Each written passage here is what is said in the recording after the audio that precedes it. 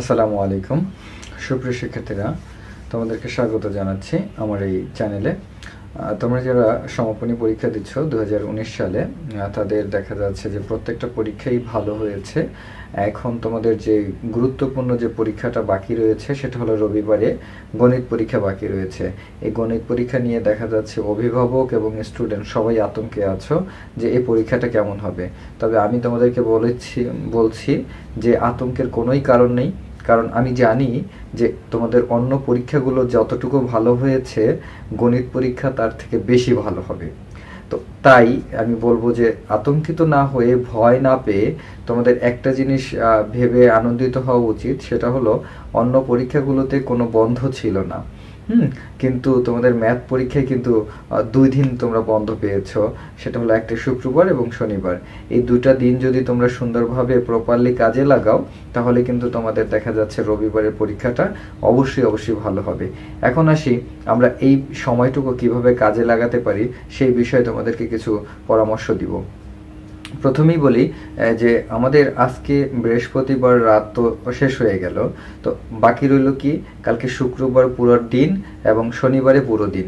এই দুটা দিন আমরা যদি প্রত্যেকটা মিনিটকে, প্রত্যেকটা ঘন্টাকে আমরা ভাগ করে কাজে লাগাতে পারি, তাহলে আমাদের দেখা যাচ্ছে ম্যাথ পরীক্ষা অবশ্যই অবশ্যই ভালো হবে। এখন তোমরা অনেকেই ম্যাথ দেখলে ভয় পাও। আমি আবারও বলব, ম্যাথকে ভয় পেলে কিন্তু ম্যাথ পরীক্ষা খারাপ হবে। ম্যাথকে ভয় পাওয়া যাবে না। সাহসের সাথে দেখা যাচ্ছে যে ম্যাথকে এনজয় করতে হবে এবং ম্যাথ ম্যাথ পরীক্ষা নিশ্চয়ই আশা করতে হবে যে ভালো হবে। তো সেজন্য আমাদের কি কাজ? ম্যাথ পরীক্ষায় এক থেকে এগারো নং আছে। এক থেকে এগারোটি নং পর্যন্ত আমাদের অ্যান্সার করতে হবে। তার মধ্যে প্রথমেই এক নঙে যে বিশটা সংক্ষিপ্ত প্রশ্ন অথবা ছোট প্রশ্ন আমাদের অ্যান্সার করতে হবে। এই বিশটা ছোট প্রশ্নের জন্য আমাদের প্রথমত টেক্সট বই যেটা, অর্থাৎ বোর্ড বই যেটা, এই বোর্ড বইটাকে ভালো করে পড়তে হবে। বোর্ড বইয়ের দেখা যাচ্ছে প্রত্যেকটা চ্যাপ্টারের শুরুতে কিছু গুরুত্বপূর্ণ কথ মানে কথা দেয়া আছে। দেয়া বক্স করে আছে, সূত্র আছে, অথবা ইনফরমেশনগুলো তোমাদের ক্লাসে দেখা যাচ্ছে দাগিয়ে দাগিয়ে পড়ানো হয়েছে, অথবা তোমরা পড়েছো, শিখেছো তোমাদের টিচাররা শিখিয়েছে। তো দেখা যাচ্ছে সেই বিষয়গুলোকে রিভিশন করতে হবে। অর্থাৎ তোমাদের বোর্ড বইয়ে যে তথ্যগুলো চ্যাপ্টারের শুরুতে দেয়া আছে, সেইগুলো ভালো করে দেখতে হবে। তার মধ্যে কি কি আছে? আমি গুরুত্বপূর্ণ কিছু কথা জাস্ট বলে দিচ্ছি সংক্ষেপে। প্রথমত যেমন গুণ, গুণের ক্ষেত্রে গুণ্য, গুণক, গুণফল। এই তিনটা চিনতে হবে, এই তিনটা কাকে বলে জানতে হবে এবং এই তিনটা সূত্র জানতে হবে। দুই নম্বরে আসি ভাগ। ভাগের ক্ষেত্রে আমাদের জানতে হবে ভাজ্য, ভাজক, ভাগফল, ভাগশেষ।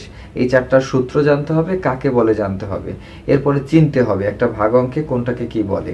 এগুলো গেল গুণ এবং ভাগের ক্ষেত্রে। তারপরেই আছে যোগ, বিয়োগ। গুণ ভাগ চারটা মিলিয়ে, চার প্রক্রিয়া মিলিয়ে। সেই জায়গায় আমাদের ঐকিক নিয়ম আছে। ঐকিক নিয়ম কাকে বলে? ঐকিক নিয়মটা জানতে হবে। তারপর ঐকিক নিয়মের কীভাবে অঙ্ক করে? তোমরা জেনে রাখবে, ঐকিক নিয়ম থেকে কিন্তু নিশ্চয়ই সংক্ষিপ্ত প্রশ্নে একটা অথবা দুইটা প্রশ্ন আসবে।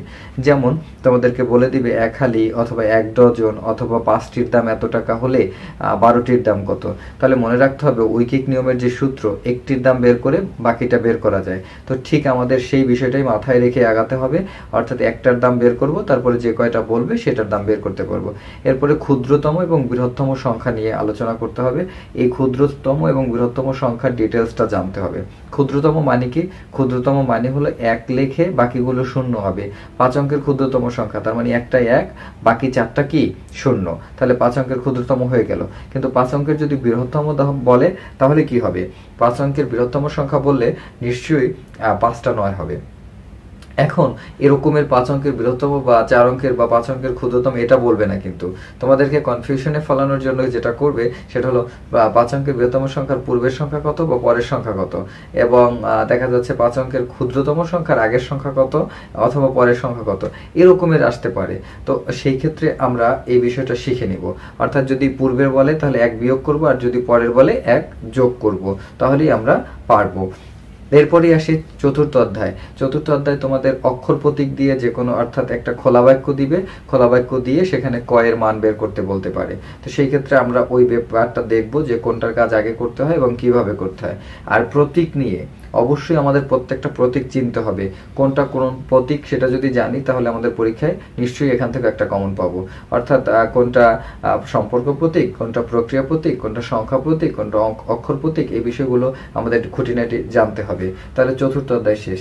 পঞ্চম অধ্যায় যে আমাদের জানতে হবে যে লসাগু গসাগু কাকে বলে? লসাগু গসাগুর পূর্ণরূপ কি? গুণিতক কাকে বলে? গুণনীয়ক কাকে বলে? এরপর গুণনীয়ক কীভাবে বের করে? গুণিতক কীভাবে বের করে? সেটা জানতে হবে। এখান থেকেও কিন্তু আমরা একটা বা দুইটা সংক্ষিপ্ত প্রশ্ন পাবো। তারপরে এই ক্ষেত্রে এখানে যেটা মৌলিক সংখ্যা কাকে বলে সেটা জানতে হবে। তো মৌলিক সংখ্যা আমরা নিশ্চয়ই সবাই জানি। তারপর ওইটা, এই বিষয়টা জানতে হবে। তো গেল পঞ্চম অধ্যায়। ষষ্ঠ অধ্যায় এসে আসবে ভগ্নাংশ। ভগ্নাংশের ক্ষেত্রে প্রকৃত, অপ্রকৃত মিশ্র এই তিনটা চিনতে হবে এবং এই তিনটা একটা থেকে আরেকটা করতে জানতে হবে। বিপরীত ভগ্নাংশ নিয়ে একটা কিন্তু প্রশ্ন আসতে পারে, সে বিপরীত ভগ্নাংশটাও জানতে হবে। তাহলে বিপরীত ভগ্নাংশ গেল, তাহলে ভগ্নাংশের গুণ, ভাগ, যোগ, বিয়োগ, এটাও জানতে হবে। তাহলে উদাহরণ দিয়ে অঙ্ক কিন্তু থাকবেই। ভগ্নাংশের যোগ, গুণ, বিয়োগ, ভাগ, এই সবগুলো মিলিয়ে কিন্তু এখান থেকে একটা বা দুইটা থাকতে পারে সরল আকারে। তাহলে ভগ্নাংশের বিষয়টা গেল, তারপরে আছে সাত অধ্যায়ে। সাত অধ্যায়ে তোমাদের দশমিকের গুণ দশমিকের ভাগ, দশমিকের গুণটা আসতে পারে। দশমিকের গুণ থেকে নিশ্চয়ই একটা থাকবে। তাহলে আমরা দশমিকের গুণটা কীভাবে করতে হয় এটা একটু শিখে নেব। তারপরে আমরা দশমিকের পরে চলে যাব গড়ে। অষ্টম অধ্যায়ে গড় আছে। তো গড় থেকেও কিন্তু একটা প্রশ্ন আসবে। অর্থাৎ গড় মান বের করো। একটা কেন? দুইটাও থাকতে পারে। গড়ের মান বের করতে বলতে পারে, গড়ের সূত্র বলতে পারে। তাহলে আমরা গড় থেকেও গড়ের সূত্র এবং গড় কীভাবে বের করে সেটাও জেনে নিব। তাহলে আমরা এখান থেকেও কমন পাবো। এরপরে চলে যাব নবম অধ্যায়। নবম অধ্যায় আমাদের আছে কি? শতকরা। শতকরা থেকে নিশ্চয়ই দুইটা বা তিনটা প্রশ্ন কমন থাকবে। তাহলে শতকরা কাকে বলে? লাভ কাকে বলে? ক্ষতি কাকে বলে? লাভ, ক্ষতির সূত্র, মুনাফা কাকে বলে? মুনাফার সূত্র, আসল কাকে বলে? আসলের সূত্র। ঠিক আছে? তারপরে আমরা এখানে যে সূত্রগুলো শিখব, সেগুলোর প্রয়োগও শিখব। তাহলে আমাদের পরীক্ষায় নিশ্চয়ই কমন পাবো। তাহলে আমরা নবম অধ্যায় শতকরার ব্যাপারটা যদি শিখে ফেলি, তারপরে আমাদের আসবে দশম অধ্যায়। তো দশম অধ্যায় আছে কি? জেমিতি তো জেমিতিতে থেকে দুইটা, তিনটা কোশ্চেন প্রতিবারই থাকে। আমরা যে সংজ্ঞাগুলো পড়ব অথবা জেমিতির কোন কোনগুলো চিনবো, যে কত ডিগ্রি কোনটার মান কত ডিগ্রি, সে বিষয়টা শিখব। আয়ত রম্ব সামন্তরিক, এই বিষয়গুলোর কর্ণ কাকে বলে, কর্ণ নিয়ে কোন নিয়ে প্রশ্ন থাকতে পারে। এই বিষয়গুলো একটু দেখে নিব। তারপরে থাকবে দশের পরে এগারো অধ্যায়। এগারো অধ্যায় আমাদের কি আছে? এগারো অধ্যায় আছে ক্ষেত্রফলের বিষয়টা। তো ও ক্ষেত্রে আয়তক্ষেত্র, বর্গক্ষেত্র ত্রিভুজ, সামন্তরিক এগুলোর ক্ষেত্রফল জানব, পরিসীমা জানব। এগুলোর ক্ষেত্রফল এবং পরিসীমা থেকেও প্রশ্ন কমন পড়বে। তারপরে আমাদের যেটা যেতে হবে সেটা হলো বারো অধ্যায়। বারো অধ্যায় সময় নিয়ে প্রশ্ন। তাহলে বারো অধ্যায় আমরা যাব, বারো অধ্যায় যেয়ে আমরা কি করব? সময়। সময়ের ক্ষেত্রে যেমন বয়স নির্ণয় হতে পারে অধিবর্ষ হতে পারে, তারপরে আমাদের অধিবর্ষের পরে থাকতে পারে, যুগ, শতাব্দী, এগুলো থাকতে পারে, যে কত বছরের শতাব্দী এবং এত সাল থেকে এত সাল কত শতাব্দীর, এই বিষয়গুলো থাকতে পারে। তাহলে বারো অধ্যায় এই বিষয়গুলো দেখব। এরপরে চলে যাব তেরো অধ্যায়। তেরো অধ্যায় যে আসতে পারে উপাত্ত। তথ্যপত্র তথ্যপত্র কাকে বলে? তথ্যপত্র কত প্রকার? বিন্যস্তপত্র কি? অবিন্যস্তপত্র কি? এখান থেকে এরকমের প্রশ্ন থাকবে। ওকে, তারপরে তথ্যপত্র থেকে ট্যালি চিহ্ন দিয়ে দিতে পারে। একটা সংখ্যা দিয়ে বলবে এটাকে ট্যালির মাধ্যমে প্রকাশ করো। তাহলে ট্যালির সংখ্যা কীভাবে লেখে সেটা আমাদের শিখতে হবে। শ্রেণি ব্যবধান কাকে বলে? অধিবর্ষ কি?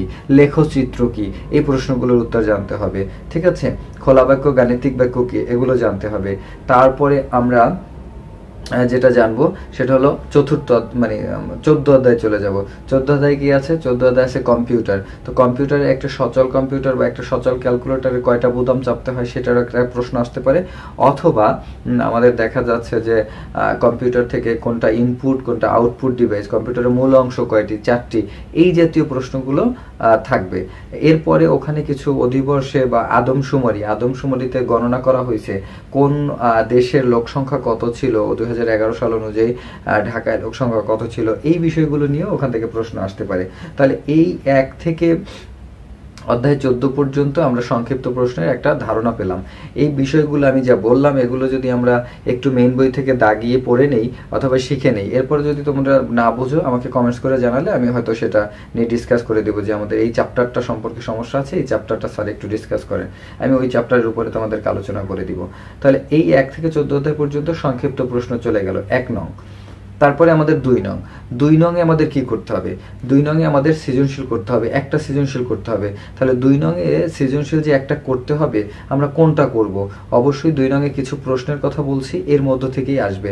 যেমন, আমাদের আসতে পারে যে এক ব্যক্তির মাসিক আয় এত টাকা, সেই আয় থেকে সে সংসার খরচ এবং অন্যান্য ব্যয়, এরকমের দুইটা ব্যয় থাকবে। অথবা বাড়ি ভাড়া এবং অন্যান্য ব্যয়, পরিবারের ব্যয়, এরকমের যে কোনো দুইটা ব্যয় করবে আর সে মাসিক আয় এত টাকা। এ থেকে দুইটা ব্যয়ের পরে বলবে বাকি টাকা সে ব্যাংকে জমা রাখে অথবা বাকি টাকা সে সঞ্চয় করে। সঞ্চয় করা আর জমা রাখা কিন্তু একই কথা।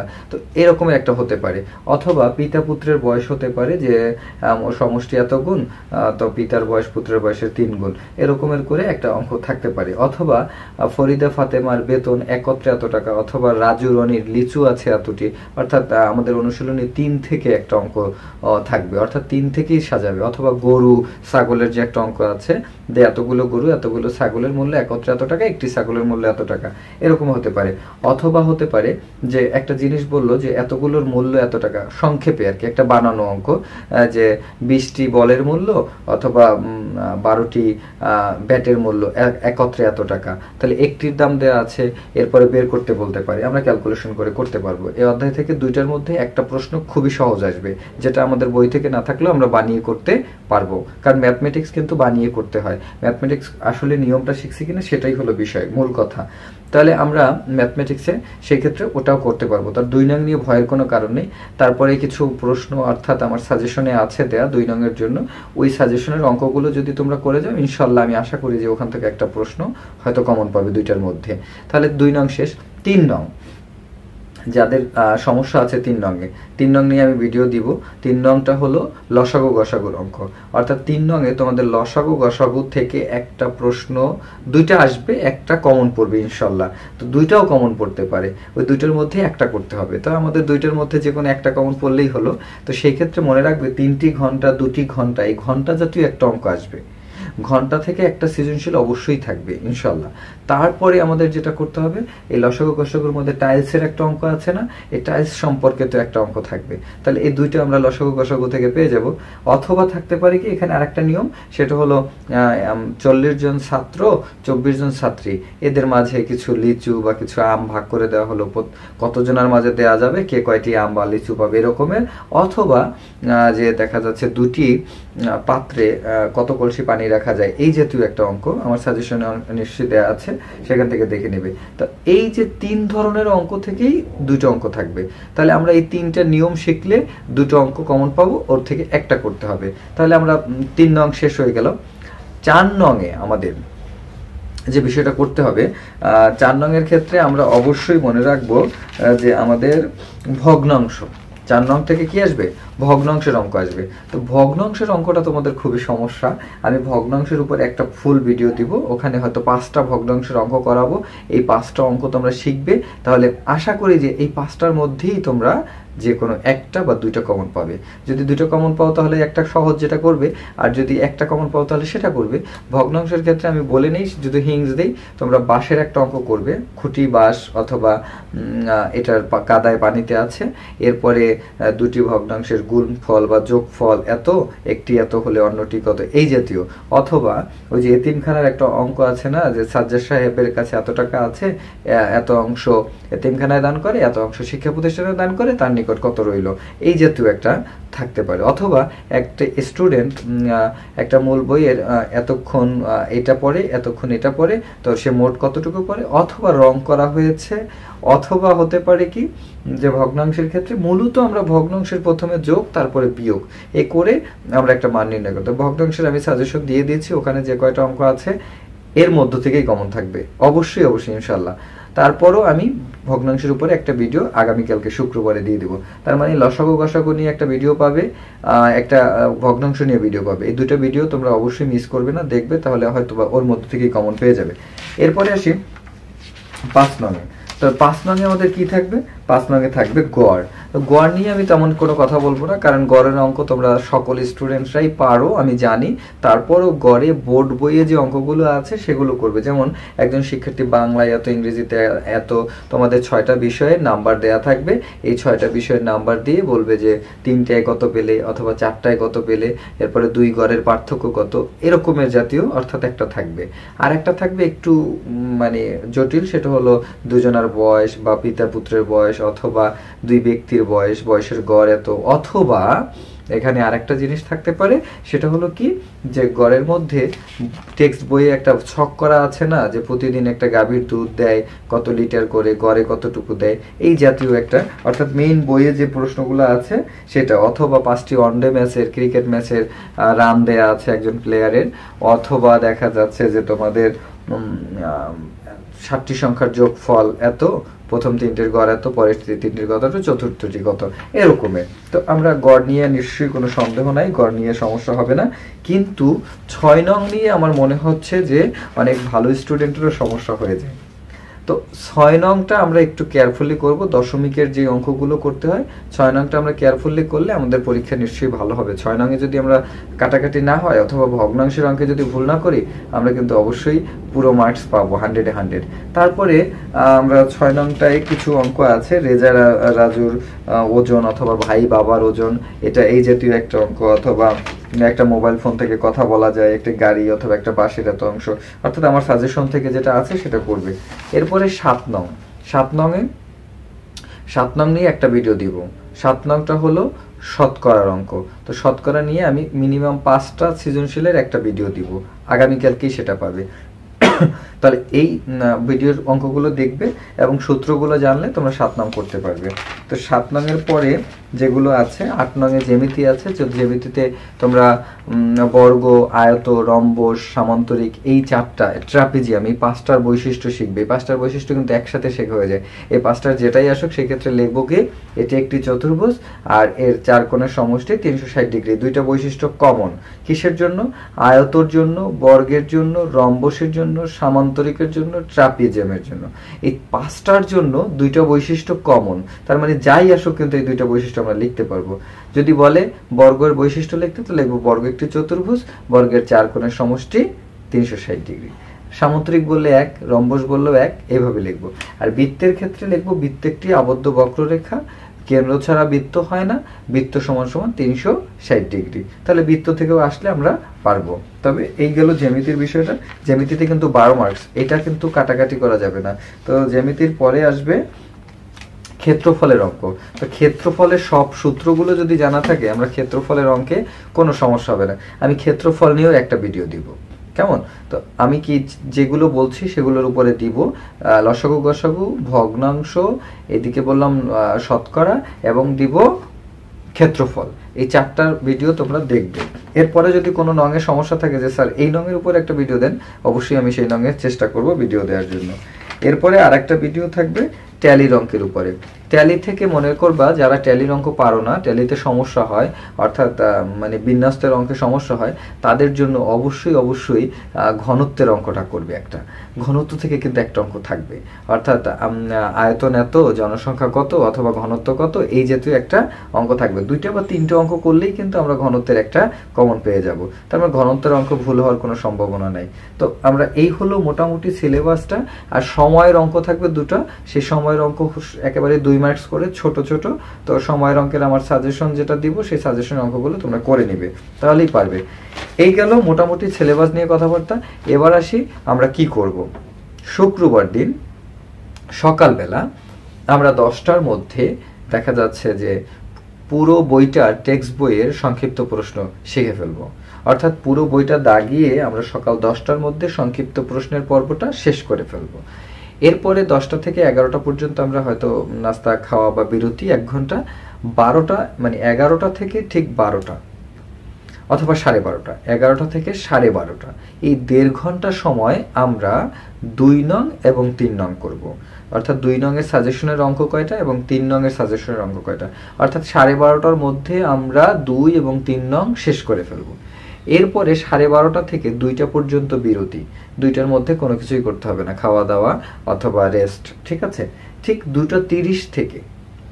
দুইটা তিরিশ থেকে আমরা পড়তে বসবো, দুইটা তিরিশ থেকে আমরা চারটা পর্যন্ত। এই দেড় ঘন্টায় আমরা চার নং এবং পাঁচ নং এই দুইটা শেষ করব। ঠিক আছে? তাহলে হয়ে গেল কয়টা? পাঁচ নং পর্যন্ত হয়ে গেল। তাহলে চারটার পরে চারটা থেকে পাঁচটা কিছু করতে হবে না, সাড়ে পাঁচটায় কিছু করতে হবে না। সাড়ে পাঁচটায় আমরা আবার টেবিলে বসবো। সাড়ে পাঁচটা থেকে দু ঘণ্টা। সাড়ে পাঁচটা থেকে সাড়ে ছয়টা, সাড়ে সাতটা। এই সাড়ে সাতটা পর্যন্ত এই দু ঘন্টায় আমরা কি করব? ছয় নং এবং সাত নং করব। দু ঘন্টায় ছয় নং এবং সাত নং করব। তারপরে সাড়ে সাতটা থেকে আমরা সাড়ে আটটা পর্যন্ত এক ঘণ্টা বিরতি। সাড়ে আটটা থেকে আবার দশটা। সাড়ে আটটা থেকে রাত দশটা। এই দশটা পর্যন্ত আমরা এই সারা দিনে যে অঙ্কগুলো করলাম, সেই অঙ্কগুলো আবার দেখব। তার মানে আমাদের কিন্তু সাত নং পর্যন্ত শুক্রবারে শেষ। শুক্রবারে সাতের বেশি করতে হবে না। শনিবার দিন সকালে আমরা নিশ্চয়ই ঘুম থেকে উঠেই আমরা জ্যামিতির পর্বটা শেষ করে ফেলব। জ্যামিতির খুঁটিনাটি বা নিজে না দেখে লেখার চেষ্টা করব এবং লেখে দেখব কোনোটা বাজে কিনা, আমরা চেক করে দেখব। তার মানে শনিবার দিন সকাল আটটা বা নয়টার মধ্যে আমাদের জ্যামিতির পর্ব শেষ। নয়টা থেকে আমরা এগারোটা পর্যন্ত, দশটা এগারোটা, দু ঘণ্টা আমরা কি করব? তাহলে জ্যামিতি গেল আট নঙে, তাহলে নয় এবং দশ নং করব। নয় নং এবং দশ নং এগারোটার মধ্যে শেষ। এগারোটা থেকে বারোটা পর্যন্ত কিচ্ছু করব না, বারোটা থেকে একটা। এই এক ঘন্টায় আমরা এগারো নংটা করব। কেমন? তাহলে কিন্তু শনিবার দিন এগারোটার মধ্যে আমাদের এগারো নং পর্যন্ত করা শেষ। ঠিক তারপরে আমরা শনিবার দিন দুপুর শেষ, বিকেল তিনটা থেকে আমরা জাস্ট যে কোনো নং থেকে একটা হুট করে টেস্ট পেপার অথবা যে কোনো জায়গা থেকে একটা নং করা শুরু করব। যদি দেখি পারি, তাহলে শেষ। আবার আরেকটা করব অন্য একটা নং করব। এভাবে করে আমরা শনিবার দিন রাত এগারোটা বা দশটা পর্যন্ত যে কোনো অঙ্ক ট্রাই করে দেখব। দেখার পরে রাতে ঘুমাতে যাওয়ার আগে যে অঙ্কগুলো খাতায় করলাম, সেই খাতাটা আমরা একবার আবার সব অঙ্কগুলো উল্টে দেখব। এরপরে রবিবার দিন সকালে উঠে অঙ্কগুলো আরেকবার দেখে আমরা কোনোটার নিয়ম বা সূত্র যদি জানতে হয়, সেই সূত্রগুলো আবার একবার দেখে আমরা পরীক্ষার হলে যাব এবং পরীক্ষার হলে খুব মাথা ঠান্ডা রেখে ম্যাথমেটিক্সে মাথা ঠান্ডা রেখে। এবং আরেকটা কথা, যদি পরিবেশ তোমরা ঠান্ডা রাখো, অর্থাৎ পরীক্ষার হলে কথা না বলো, চুপচাপ থাকো, তাহলে তোমরা একটু দেখা দেখি করতে পারবে, গার্ড কিন্তু কিছু বলবে না। আর যদি তোমরা কথা বলো এবং চেঁচামেচি করো, দাঁড়াও, তারপরে শাউট করো, সেক্ষেত্রে কিন্তু যে গার্ডে থাকবে, সে কড়া গার্ড দিবে, তোমরা দেখা দেখেও করতে পারবে না, সে আরও করতে পারবে না। তখন কিন্তু তোমার ম্যাথ পরীক্ষা খারাপ হয়ে যাবে। এই জন্য তোমাদের উপরে ডিপেন্ড করে, তোমরা এইভাবে প্রিপারেশন নাও এবং পরীক্ষার হলে চুপচাপ থাকো, ঠান্ডা মাথায় পরীক্ষা দাও, তাহলে নিশ্চয়ই তোমরা প্লাস পাবে। তো আগামীকালকে আমি তোমাদের যে ভিডিওগুলোর কথা বলছি, সেই ভিডিওগুলো দিব। সেই জন্য অপেক্ষায় থাকো। আজকে এই পর্যন্তই। আল্লাহ হাফেজ।